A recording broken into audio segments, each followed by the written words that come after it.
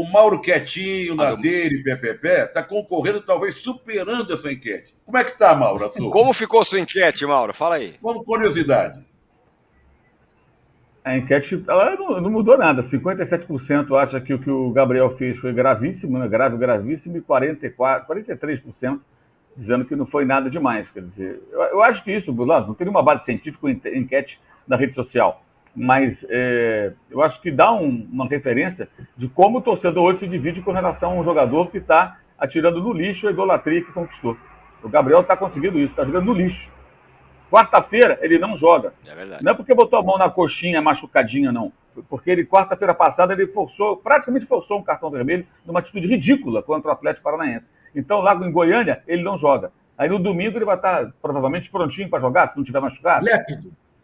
Né? Vamos ver se o São Paulo vai ter de novo coragem ou não de colocá-lo, é. embora, repito, a pressão em cima do Landim ela é muito grande. Está todo mundo pegando no pé dele para tirar o São Paulo e colocar alguém no lugar alguém. Não tem Valdemar, nenhum nome. Assim, ah, Valdemar. Alguém. Eu acho que o Valdemar resolveria rapidamente Valdemar a situação. Ele, ele que foi o cara trocado em 2006. Tiraram é, ele para colocar o Valdemar tá dando soco aí, pô. Isso mesmo.